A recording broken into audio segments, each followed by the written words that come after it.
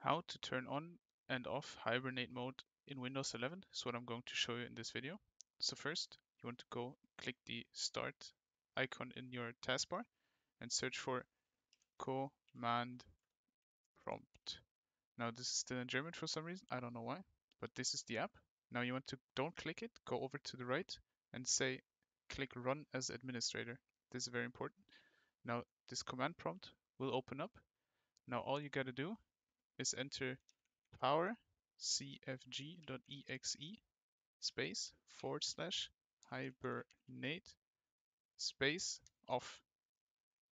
Now this will turn off your hibernate mode. Now click enter. Now your hibernate mode is turned off. You can now re-enter powercfg.exe forward slash hibernate. Now say on to turn your hibernate mode back on.